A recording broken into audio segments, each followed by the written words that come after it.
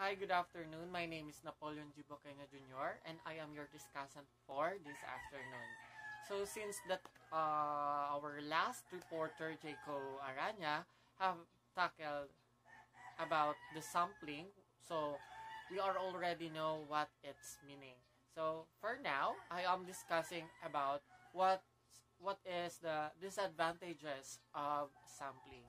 So the disadvantages of sampling. The reliability of the sample depends upon the appropriateness of the sampling method. The purpose of sampling theory is to make sampling more efficient, but the real difficulties lie in selection, estimation, and administration of samples.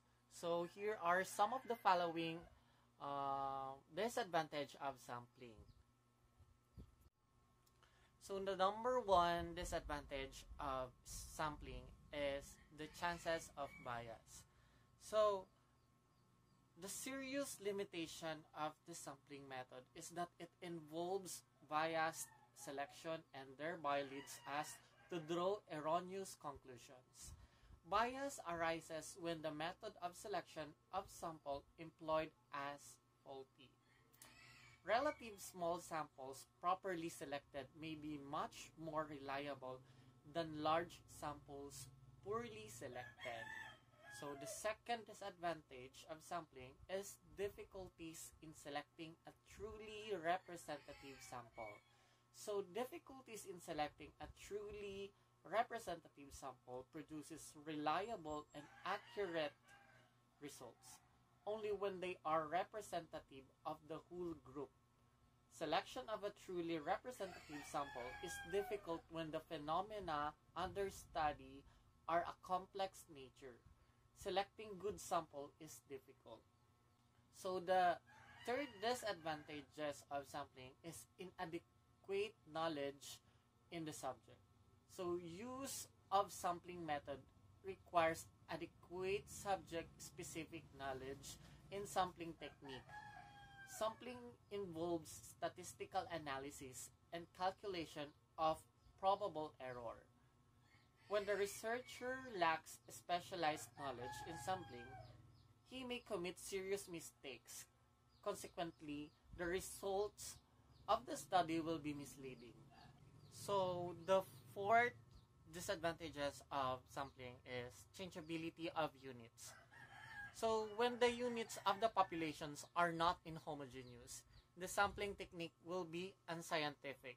In sampling, though the number of cases is small, it is not always easy to stick to the selected cases. The units of sample may be widely dispersed. Some of the cases of sample may not cooperate with the researcher and some others may be inaccessible. Because of these problems, all the cases may not be taken up. The selected cases may have to be replaced by other cases. Changeability of units stands in the way of results of the study. So, the last disadvantages of sampling is impossibility of sampling. So, deriving a representative sample is difficult when the universe is too small or too heterogeneous. In this case, census study is the only alternative. Moreover, in studies requiring a very high standard of accuracy, the sampling method may be unsuitable. There will be a chances of errors even if samples are drawn most carefully. So those are the disadvantages of something or defective sampling. So we are going to our next topic which is the general types of sampling.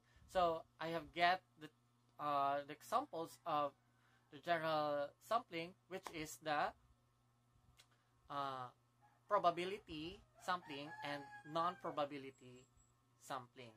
So probability sampling scheme is one in which every unit in the population has a chance or a greater than zero of being selected in the sample. And this probability can be accur accurately determined. When every element in the population thus has the same probability, it's known as equal probability of selection, ESP.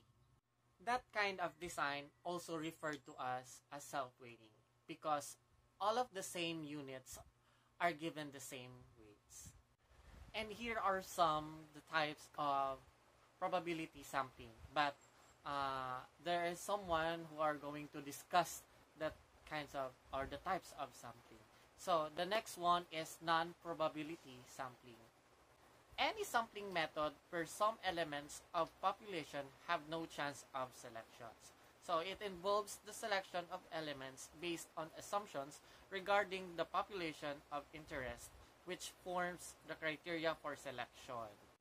For example, if we visit every household uh, on a given street and interview the first person to answer the door, if any household with more than one occupant, that is a non-probability sample because some people more likely to answer that it is as were unemployed persons or perhaps mothers taking their taking care of their kids and etc. So here are the types of non-probability sampling but I am not going to discuss it by one by one because there are assigned there are someone assi- uh, who are going to discuss it.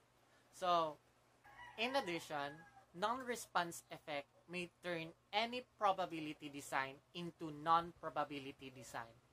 If the characteristic of non-responses uh, are not well understood, since not responses effectively uh, modified each element probability of being sampled.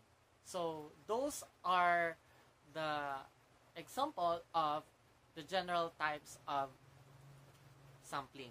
So which is the probability sampling and non-probability sampling. I hope that each and every one of you understand my report and I hope that you get some of ideas and knowledge about it.